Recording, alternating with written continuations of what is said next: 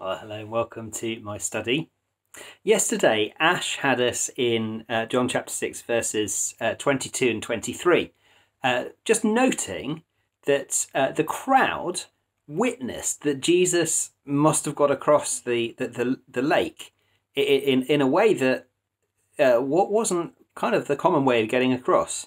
He hadn't got in a boat, uh, and he, he must have got across there by, by walking over it or, or, or something.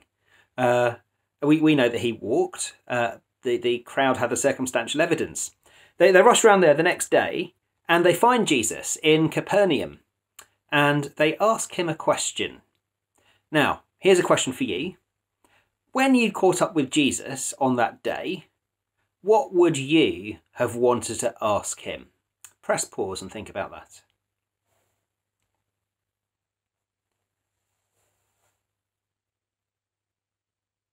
I think, I don't know about you, I think I'd want to ask him, well, Jesus, how on earth did you get here? How did you do that? But look with me at uh, verse 25. What they say is, uh, what they say is this Rabbi, how did you, uh, when, when did you get here, rather? When did you get here?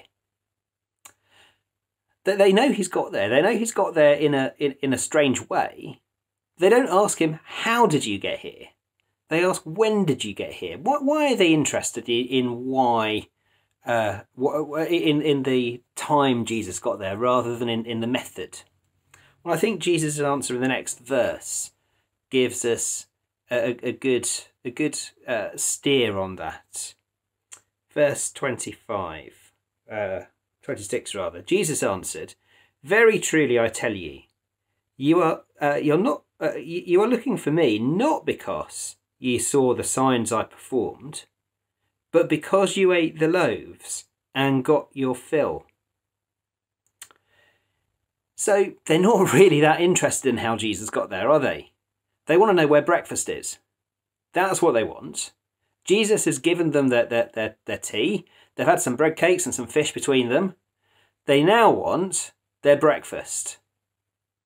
So they want to know when Jesus got to the other side, because have they missed breakfast? Did, did, did, did, did they somehow miss him giving that to him, or, or was he giving it to the people in Capernaum? They, they, they want their fill again. They want their food. Jesus goes on, verse 27 Do not work for food that spoils, but for food that endures to eternal life, which the Son of Man will give ye. For on him God the Father has placed his seal of approval. I will think about more what, what that precisely means in the coming days. But just to note that uh, for the moment, that the people are after the gifts that Jesus gives ahead of Jesus himself, aren't they? They want the stuff, not the Son of God. It's pulled me up actually thinking about that.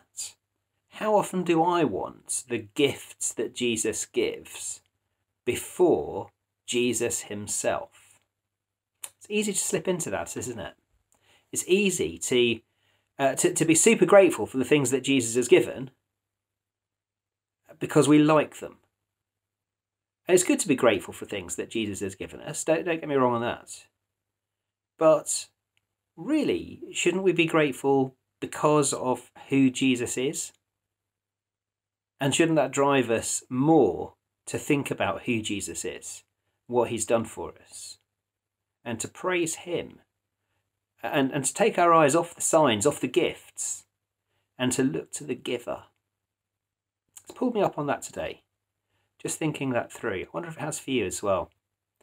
Maybe it hasn't, but maybe this is something just to log in your mind for those times when, and they'll come, when, when you forget about Jesus because you're more concerned about what he's given you. A bit like this crowd. So let's uh, let, let, let's pray, shall we, and, and ask Jesus to, uh, to to fill our minds, fill our hearts with Himself, because of the good things He gives us. That those good gifts, all of the good things He's given us in life, point us back to the Giver Himself, and that we would praise Him, and that we would revel in knowing the giver. Let me pray. Oh Lord Jesus, we, we praise you for your kindness to us. We praise you for your goodness to us. We praise you that you always give us what we need. But we also confess that so often we're so taken up with the good things you give us that we forget about you. So, Lord, would ye, would you refocus our minds on ye? Would you be the centre of our thoughts? Would you fill our hearts? And when, when, we, when you give us good things, please would we praise you for them because of who you are, the generous Lord Jesus. He, you, you gave up your riches and became poor that we might become spiritually rich. Please fill our hearts with that.